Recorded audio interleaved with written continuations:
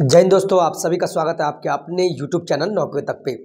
हम उपस्थित एक नए वीडियो में आप सभी को ये बताने के लिए, चूँकि बिहार के ही नहीं, बल्कि देश प्रदेश के भी, पूरे ऑल ओवर इंडिया का एग्ज़ाम चल रहा है। आज फ़र्स्ट एग्ज़ाम था फ़र्स्ट फ़ेज़ यानी अट्ठाईस दिसंबर सीटेट का पेपर वन और पेपर टू का एग्ज़ाम हुआ, और मैंने रिव्यू डालने का भी प्रयास किया, और जाके देख लीजिएगा, किस तरह का पेपर पूछा गया है। खैर, उसी कड़ी में जो सूचना आया है, ये सूचना तो बहुत पहले आया, लेकिन मैं आपको आज बता दूँ आपका एग्ज़ाम कब से? जैसे कि आज 28 है तो 28 वाला शिफ्ट तो आज एग्ज़ाम ख़त्म हो चुका है। एग्ज़ाम कब से कब तक चलेगा और किनका किस डेट में है, वो अब यहाँ से हम बता पाएँगे। यहाँ देखिए क्या लिखा हुआ है, ये सीटेट केंद्रीय शिक्षक पात्रता परीक्षा, यानी केंद्रीय माध्यमिक बोर्ड सीबीएसई के द्वारा जारी किया गया सूचना है।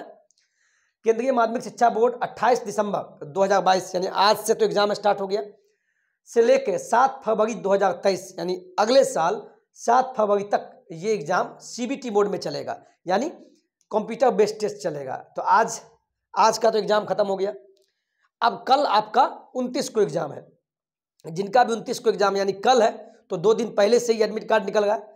तो आप निकाल भी लिए होंगे और कल के लिए ढेर सारी शुभकामनाएँ अच्छा से पेपर दीजिए।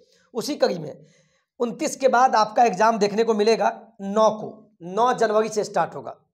पहले बात समझिए, नौ को, फिर दस जनवरी को ग्यारह, बारह, तेरह, सत्रह सत्रह के बाद, तेरह के बाद सत्रह, बीच में गैप है। अट्ठारह उन्नीस, बीस बीस के बाद बीच में दो दिन नहीं है। फिर तेईस को, चौबीस को, पच्चीस को, सत्ताईस को, अट्ठाईस को, उनतीस को, तीस जनवरी को, उसके बाद सीधे एक फरवरी को है। फिर दो को, तीन फरवरी, चार चार के बाद छः और छः के बाद सात फरवरी को एग्ज़ाम है सीटेट का। यानी चौबीस चरण में, चौबीस फ़ेज़ में एग्ज़ाम होगा। तो आज फ़र्स्ट फ़ेज़ खत्म हो चुका है। मैं तमाम साथी को बताऊँगा, अभी मत घबराइए कि आपका कौन से डेट में आपका एग्ज़ाम है, चूँकि अभी पता नहीं चलेगा। अभी फ़िलहाल 28 यानी आज और कल का ही एडमिट कार्ड निकला है और एग्ज़ाम देंगे। बाद बाकी, जिनका भी एग्ज़ाम नौ को होगा, नौ या दस को तो आपको बस तीन से चार दिन में पता चल जाएगा। जैसे ही आपका एडमिट कार्ड आउट होगा, जिनका भी नौ नौ से स्टार्ट जो होगा, नौ जनवरी से, और जिनका भी एग्ज़ाम हो नौ को या दस को जैसे जैसे पता चलेगा, आपको हम बता देंगे। आप निश्चिंत रहिए, हमारे नौकरी तक चैनल से जुटे रहिए, क्योंकि सीटेट की जानकारी आपको हम सही दे पाएँगे और सटीक दे पाएँगे। ठीक है? तो अभी आपको परेशान नहीं होना है, अच्छे से पढ़िए, प्रीवियस ईयर क्वेश्चन बनाइए, समय बहुत कम है और जो आज वीडियो लाए एनालिसिस, उसमें ज़्यादातर बच्चे बोले हैं, लेट्स लर्न। क्या बोले हैं? लेट्स लर्न पढ़िए। नहीं तो मैं कुछ बता दूँ यहाँ से कुछ ज़्यादा प्रश्न पूछे जा रहे हैं। सचिन सचिन एकेडमी मैं किसी का स्पॉन्सर नहीं हूँ। सचिन सचिन एकेडमी के भी बारे में बोला गया है। यहाँ से बच्चे बहुत पास हो गए ये भी एक यूट्यूब चैनल है, बहुत अच्छा पढ़ाते हैं। दूसरा, एक लेट्स लर्न है। Let's learn